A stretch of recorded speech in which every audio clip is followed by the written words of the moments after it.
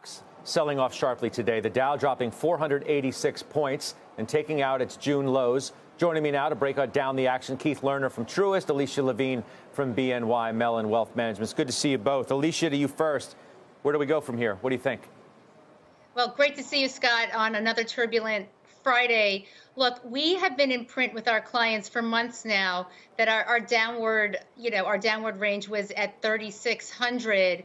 So we've we've well prepared our clients for what we thought the downside could be in this market if inflation did not resolve on its own and if the if the Fed had to come in and really go higher for longer. I, I think it's no stretch of the imagination to say that we could likely undercut that here simply because markets don't stop exactly where you think they are.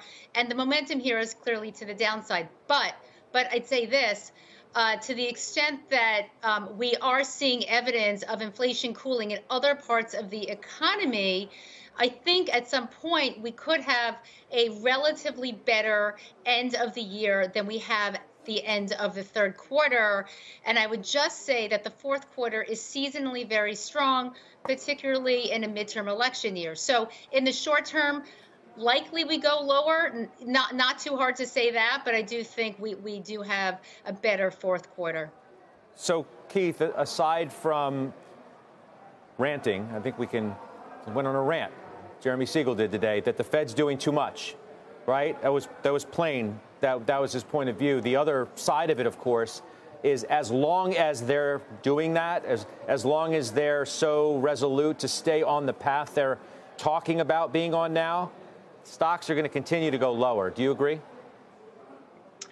Listen, um, well, first, great to be with you and Alicia. Um, I'm kind of in the same camp with Alicia. Know, we, we, were with you in August, and our, uh, you know, our view back then was to reduce equities as we were approaching 42 to 4,300.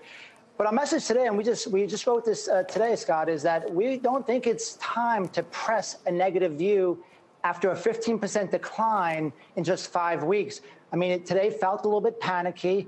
Um, we're seeing, uh, you know, one of the more oversold conditions similar to June. So we can certainly overshoot that. But I think uh, at this point, a lot of the damage has been done, at least short term.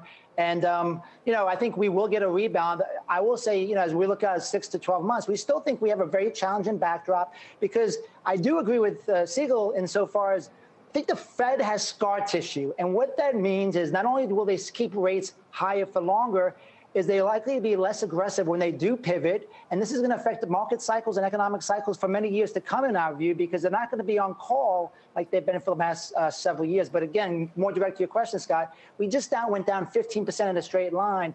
We don't think this is time to press the bets on the negative side. Oh, I hear you. I mean, it's hard to be, it can't really get negative now. If you're just getting negative now, you haven't been paying attention because there's been all sorts of reasons leading up to today why you may want to be negative. Most certainly, don't fight the Fed, right? Alicia, now that sounds great. That doesn't really help anybody, though. Sitting at home was wondering, should I perhaps buy stocks now? What if I listen to Keith? I'm not inclined to get uber negative today, but should I start to get incrementally positive? So uh, I think to the extent that there's fear and loathing in the market, that sentiment is rock bottom, close to where it was during the global financial crisis.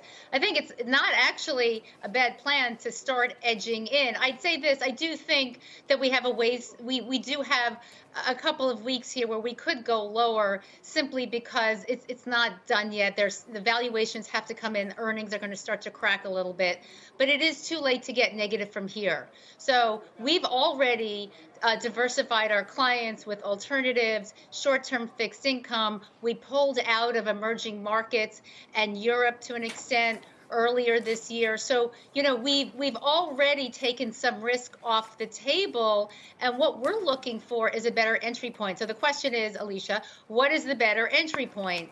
And for us, this is about earnings and this is about what's realistic. And to the extent that we see earnings come down, we would be willing to buy here because Scott, you know this, that the market stabilizes well before the real economy and well before the data do. So the yeah. Fed's in a tough space because they're they're stuck with having to make economic projections with backward looking data.